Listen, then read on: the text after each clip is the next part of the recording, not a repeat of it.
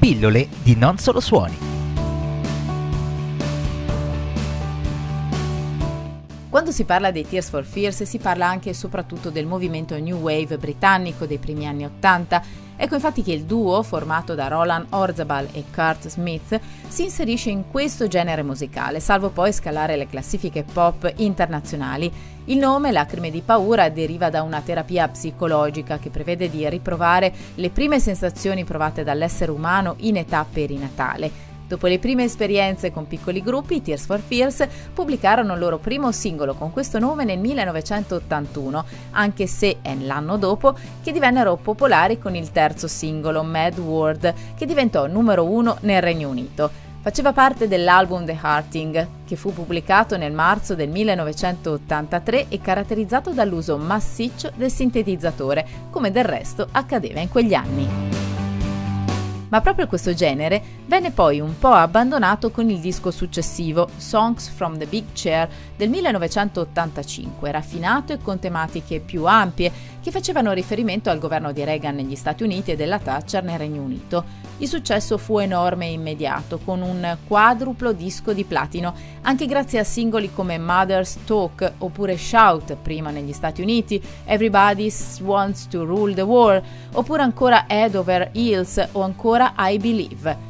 Seguì un tour e un po' di polemica per la mancata partecipazione al Live Aid di Filadelfia per dissensi pare tra l'organizzatore Bob Geldof e Orzabal, che non aveva ricevuto sufficienti assicurazioni sulla destinazione dei proventi a persone bisognose.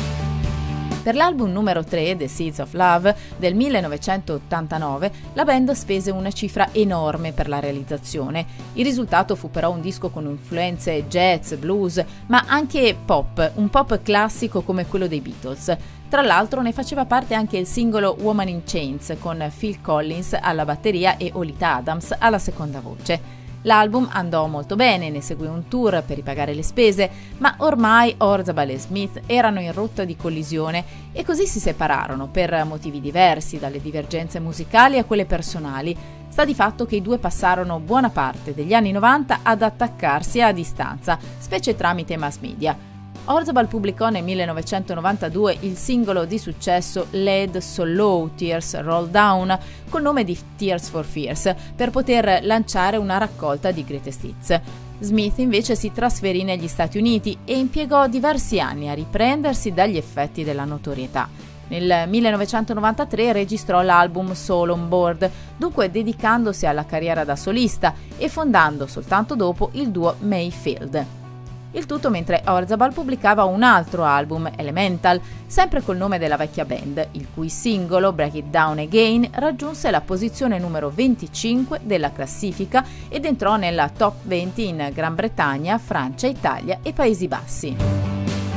Con Rowland Kings of Spain di due anni dopo ecco maggiori influenze musicali latine, che però proprio per questo penalizzarono di molto il disco sul mercato. Sono state molte nel corso degli anni 2000 le ristampe dei lavori dei Tears for Fears, anche con remix, non prima però di un incontro forzato a onor del vero tra Orzabel e Smith nel 2001 per obblighi contrattuali dopo dieci anni dall'ultima volta.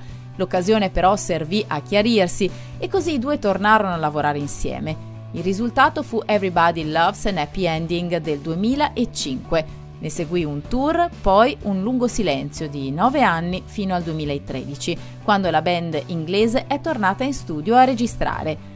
Sono uscite nel frattempo due cover, ma entro la fine del 2015 si attende un nuovo album di inediti e poi un grande tour per il 2016.